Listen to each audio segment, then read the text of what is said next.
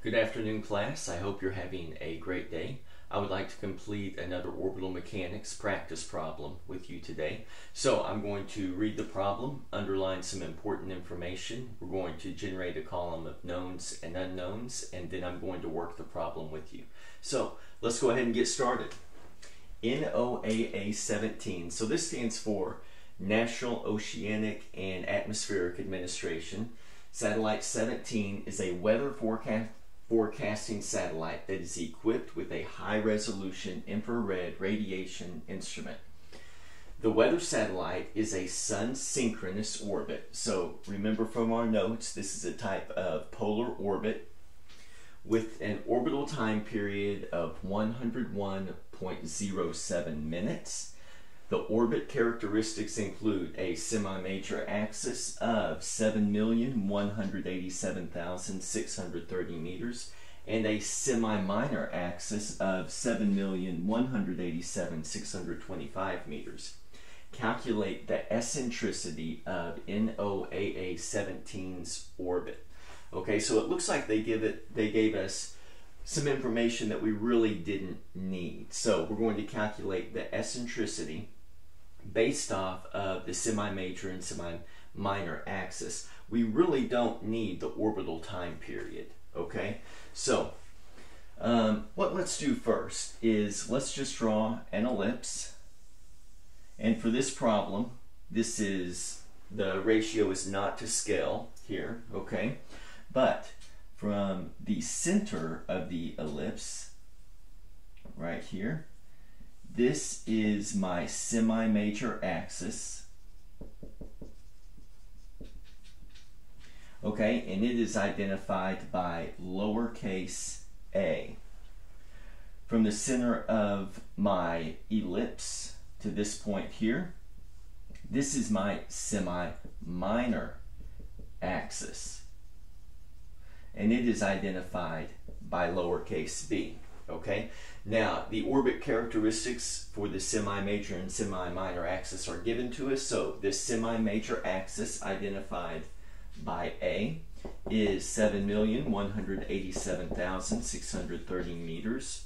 My semi-minor dimension is going to be 7,187,625 meters okay?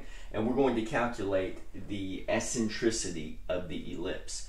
Now, the eccentricity for an ellipse can be between 0 and it can include 0. Now, 0 is going to be a circle, so uh, it's going to have a constant radius, just a perfect circle.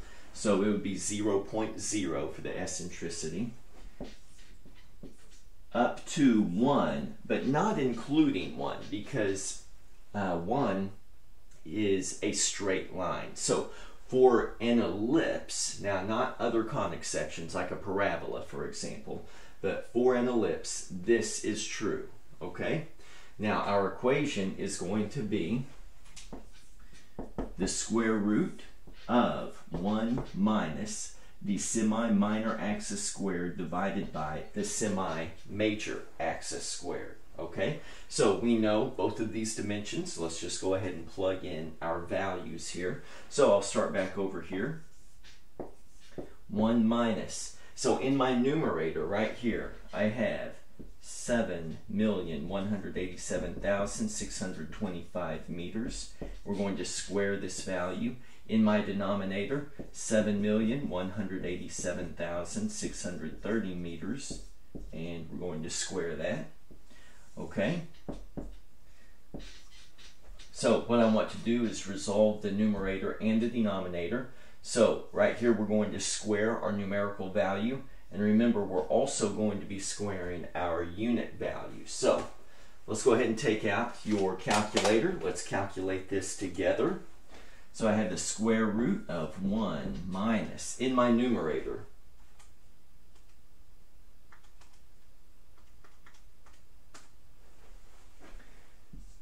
5.166195 times 10 to the 13th meters squared. Remember, not only are we squaring the numerical value, we have to square the unit value. In my denominator,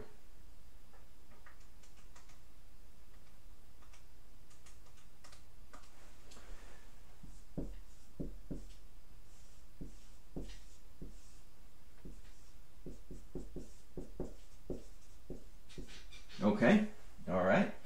So what let's do is let's go go ahead and divide this right here. Oh, and I accidentally hit clear on my calculator. Okay. All right, so 5 point.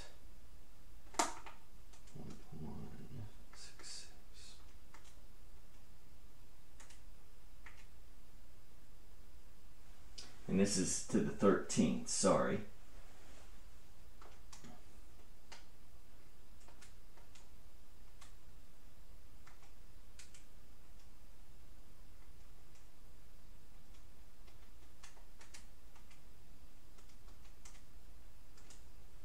Okay, all right, this gives me 1 minus 0 0.999998. And right now we don't have any units here because we have meters squared in the numerator and meters squared in the denominator. Okay, so let's do 1 minus this value. And we are required to take the square root of the answer. Okay?